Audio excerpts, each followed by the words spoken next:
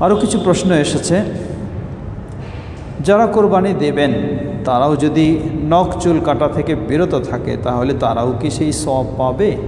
অর্থাৎ প্রশ্ন করেছেন সেই আলোকে যে এক হাদিসে এসেছে, আল্লাহ রসুল সাল্লাহ আলী হুসাল্লাম বলেন সহি মুসলিমের হাদিস মান আরাদা আইয়ুদাহিয়া ওয়ারা হিলালাদিল হিজ্জা ফালা ইয়াখুদান্না মিন শাআরিহি ওয়ালা মিন আজফারিহি যে ব্যক্তি কোরবানি দেওয়ার ইচ্ছা পোষণ করে আর জুল হিজ্জা মাসের চাঁদ দেখে, সে যেন তার নখ চুল কাটা বন্ধ করে।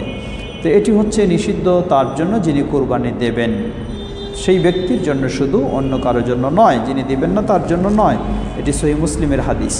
কিন্তু অন্য কিছু হাদিস রয়েছে, যেমন নাসাই এবং এবনে মাজার বর্ণনায় যাদের সামর্থ্য নাই কোরবানি দেওয়ার, তারাও যদি নখ চুল কাটা বন্ধ রাখে, তাহলে কোরবানি, পরিপূর্ণ কোরবানির সব পাবে। কিন্তু এই হাদিসগুলি সহি নয়। আল্লাহ চালা আলাম। প্রশ্ন করেছেন, একই ব্যক্তি একাধিক ঈদের জামাতে ইমামতি করতে পারবে কি? জবাব, আমাদের আরও বেশ, লাইনে বেশ কিছু প্রশ্ন এসেছে, আমরা সেগুলি প্রশ্নেরও কিছু জবাব দেওয়ার চেষ্টা করব সম্ভব অনুযায়ী। তো এই প্রশ্ন হচ্ছে যে, একই ব্যক্তি একাধিক ঈদের জামাতে ইমামতি করতে পারবে কি? জবাব, প্রথম জামাত, এটি হচ্ছে তার শরীয়তসম্মত জামাত। পরবর্তীগুলি তার জন্য ঈদের সালাতের হুকুম যেহেতু আমরা বলি এটি ওয়াজিব, অতএব প্রথমটি হচ্ছে তার আসল। আর পরবর্তীগুলি সেটি হচ্ছে তার জন্য নফল। ইসলামী শরীয়তে এমনটি বিষয়ে অনুমতি রয়েছে যে, যিনি নফল আদায় করবেন তার পিছনে ফরজ ব্যক্তিদের একতেদা করা জায়েজ রয়েছে। তাই আমরা বলব, যদি কোথাও ইমামের অভাব হয়ে যায়, ইমাম পাওয়া যাচ্ছে না, তাহলে সেই ক্ষেত্রে আমরা বলব যে সেটি জায়েজ রয়েছে।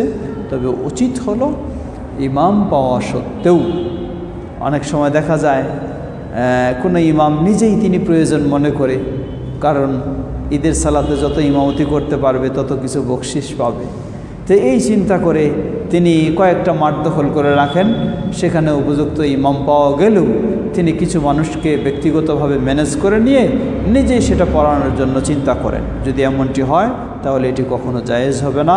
এটি দিনের উদ্দেশ্য নয়, এটি আল্লাহর সন্তুষ্টির অর্জনের উদ্দেশ্য নেই। এটি শুধু অর্থ কামাইয়ের উদ্দেশ্য, এমনটি কখনো জায়েজ হবে না।